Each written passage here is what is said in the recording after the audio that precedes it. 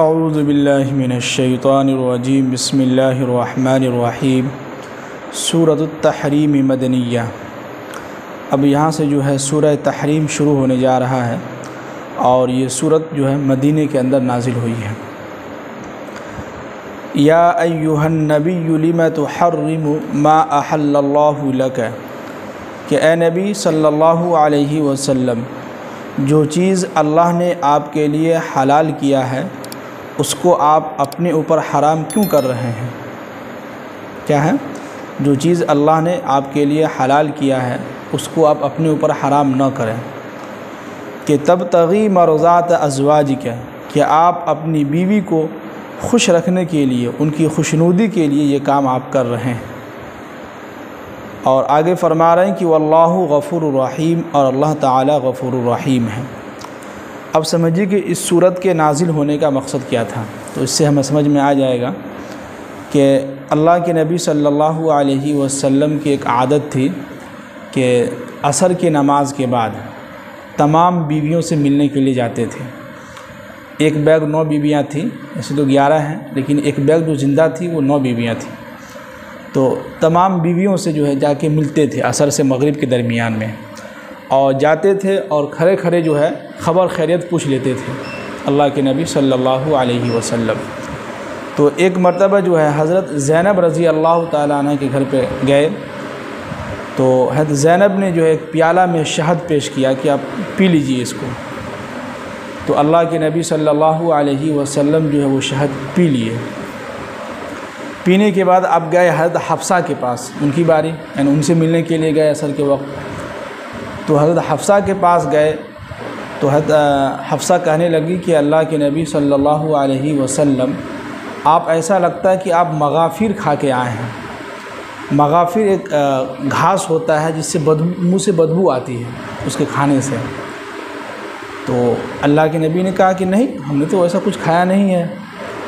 تو وہاں پر انکار کر دیے۔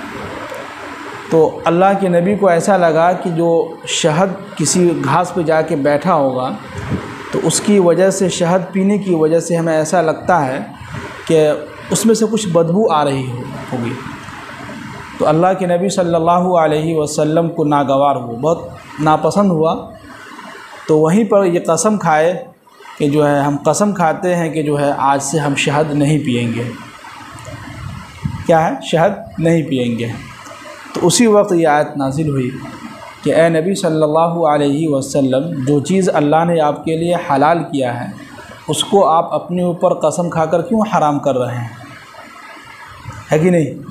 تو دنیا کے اندر بھی اس سے ہمیں اور آپ کو ایک پیغام ملتا ہے، امت کو ایک پیغام دینا ہوتا ہے کہ دنیا کے اندر جو چیز ہمارے لیے حلال ہے، اس کو ہم حلال سمجھیں۔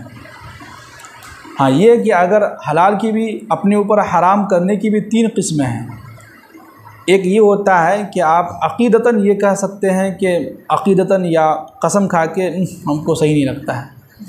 اور عقیدہ آپ کا یہ ہو کہ اسلام میں یہ چیز جائز نہیں ہے۔ حالانکہ وہ اسلام میں جائز ہے، لیکن آپ اس پر قسم کھا رہے ہیں تو یہ غلط ہوگا۔ اس کے لیے آپ کو توبہ کرنا ہوگا۔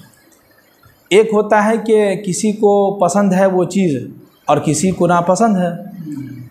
ہے تو حلال، لیکن کہ ہر کسی کو وہ چیز پسند نہیں آتی ہے۔ ہے کہ نہیں؟ جیسے کہ مان لیجیے گائے کا گوشت ہے۔ اپنے مسلمان میں بھی کچھ ایسے لوگ ہیں، ان کو پسند نہیں ہے۔ وہ زندگی بھر نہیں کھاتے ہیں۔ تو وہ یہ وہ یہ نہ سمجھے کہ ارے، یہ تو حرام ہے ہمارے لیے۔ نہ، یہ گناہ ہوگا پھر۔ بلکہ وہ یہ کہے کہ ہم کو ناپسند، ہم کو اچھا نہیں لگتا ہے۔ تو اور ہم بچپن سے نہیں کھاتے ہیں، جس کی وجہ سے ہمیں اچھا نہیں لگتا ہے۔ تو پھر یہ صحیح ہوگا۔ لیکن وہ یہ کہے کہ ہم میں اپنے اوپر حرام کرتا ہوں گائے کا گوشت، پھر یہ گناہ ہو جائے گا۔ پھر آپ کو توبہ کرنا ہوگا اس کے لیے اور آپ کو کفارہ دینا ہوگا یہ قسم کھانے کا۔ ہے کہ نہیں؟ جیسے کہ جھینگا مچھلی آپ لوگ سمجھتے ہوں گے، جو ایسے ہوتا ہے، وہ اس اسلام میں یعنی کہ امام ابو حنیفہ رحمۃ اللہ علیہ، لیکن امام ابو حنیفہ رحمۃ اللہ علیہ کہتے ہیں کہ یہ مکروح کے قریب قریب ہیں۔ لیکن آگے وہ بھی یہ وضاحت کرتے ہیں کہ اگر کسی کو اچھا لگے تو کھا سکتے ہیں، جائز ہے۔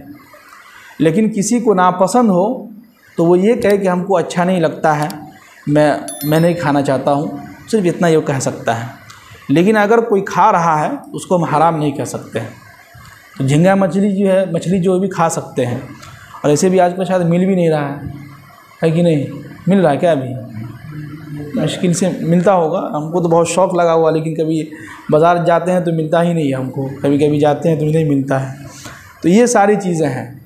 اور دوسری بات یہ کہ کسی کو خوش کرنے کے لیے حلال چیز کو آپ اپنے اوپر حرام نہ کر لیں۔ جیسے کہ مان لیجیے کہ کچھ عورتیں ایسی ہوتی ہیں جن کو گوشت پسند نہیں ہے۔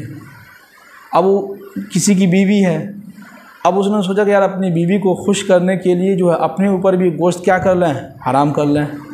کہ خسی کا گوشت ہو یا گائے کا گوشت ہو یا چکن ہو، کوئی بھی چیز ہو۔ تو اب آپ اپنی بیوی کو خوش کرنے کے لیے آپ یہ قسم کھا کے کہتے ہیں کہ ہم آج سے گوشت نہیں کھائیں گے اور میں اپنے اوپر حرام کرتا ہوں۔ یہ بھی غلط ہوگا۔ ہے کہ نہیں؟ کچھ عورتیں ہیں ایسی جو، کچھ لڑکیاں ایسی ہیں جیسے، اس کو پسند نہیں ہے۔ وہ دیکھتی ہے تو اس کو الٹی ہو جاتی ہے۔ تو ہر ایک انسان کو اور ہر عورت کو سب کو الگ الگ پسند ہے، لیکن وہ یہ نہ کہے کہ جو ہے میں اپنے اوپر حرام کرتا ہوں، یہ غلط ہو جائے گا۔ بلکہ یہ کہیں کہ مجھے پسند نہیں ہے، تو یہ جائز ہے۔ شریعت نے اتنا اجازت دیا ہے کہ آپ یہ کہہ سکتے ہیں کہ مجھے اچھا نہیں لگتا ہے، مجھے پسند نہیں ہے، آپ کھائیے۔ بس اتنا کہہ سکتے ہیں۔ جی۔ اب آگے فرما رہے ہیں کہ قد فرض اللہ لکم تحلت ایمانکم۔ کہ اے نبی، آپ نے جو قسم کھائی ہے، اس قسم کے کفارہ کا جو ہے، اللہ نے ایک طریقہ اختیار کر دیا۔ ہے تو قسم کا کفارہ اللہ کے نبی صلی اللہ علیہ وسلم، جیسے ہی آیت نازل ہوئی، تو فوراً اللہ کے نبی صلی اللہ علیہ وسلم جو ہے اپنے قسم کو توڑ دیے۔ اور توڑنے کے بعد ایک غلام آزاد کر دیے۔ یہ کفارہ ہو گیا۔ کفارہ میں جو ہے، تین قسم کے ہوتے ہیں۔ ایک ہوتا ہے غلام کو آزاد کرنا۔ تو اس زمانے میں غلام کا جو ہے رواج تھا، تو لوگ غلام آزاد کر دیتے تھے۔ تو اللہ کے نبی ایک غلام کو آزاد کر دیے یہ کفارہ ہو گیا۔ دوسری قسم ہے کہ آپ جو ہے تیس یعنی کہ ساٹھ روزے جو ہے، دو مہینے لگاتار آپ روزہ رکھیے۔ یہ بھی نہ ہو تو آخر میں آپشن یہ دیا ہے کہ وہ ساٹھ مسکین کو کیا ہے؟ کھانا کھلائے۔ یہ تین آپشن ہیں۔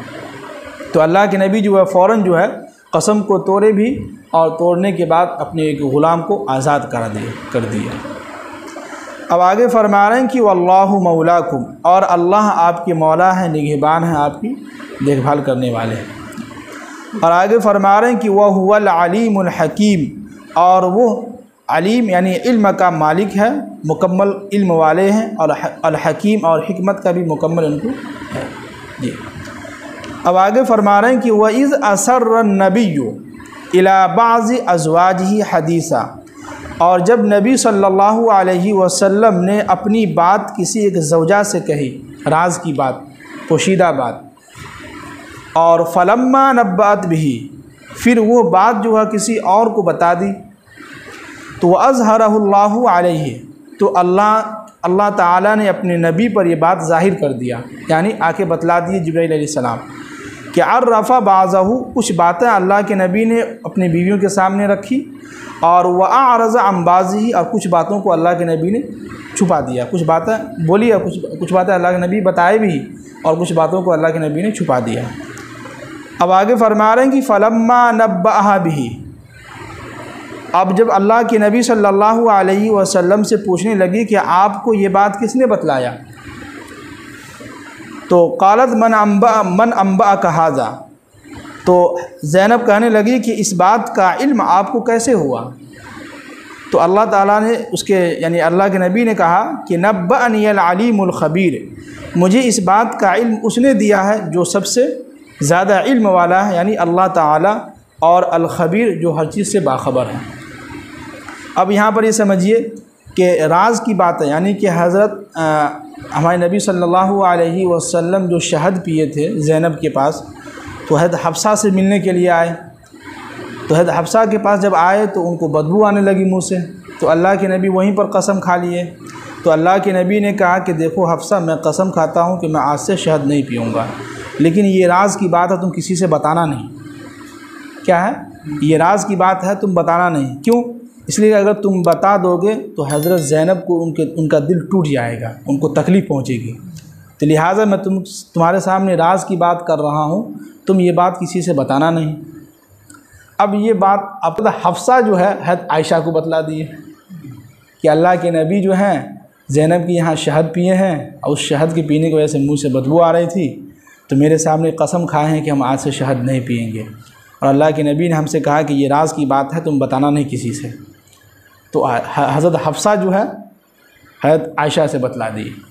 اب یہ دونوں باتیں جو ہے، بات دونوں میں ہو گئی۔ اب جیسے ہی حید حفصہ جو ہے عائشہ کو بتلا دی، تو فوراً جو ہے جبرائیل علیہ السلام وہی لے کر نازل ہو گئے کہ جو ہے، آپ جو راز کی بات حید حفصہ سے کہے تھے، وہ بات جو ہے حفصہ جو ہے عائشہ کو بتلا دی۔ کیا ہے؟ بتلا دی۔ اب جو ہے اللہ کے نبی صلی اللہ علیہ وسلم آئے حید حفصہ کے پاس کہ میں نے جو قسم کھائی تھی اور میں نے کہا تھا یہ راز کی بات ہے، تم کسی سے بتانا نہیں تو تم نے بتا دی۔ اب یہاں پر ایک چیز ہے کہ اللہ کے نبی صلی اللہ علیہ وسلم جو ہے پوری بات ان کو نہیں بتلائے حید حفصہ کو۔ کیوں؟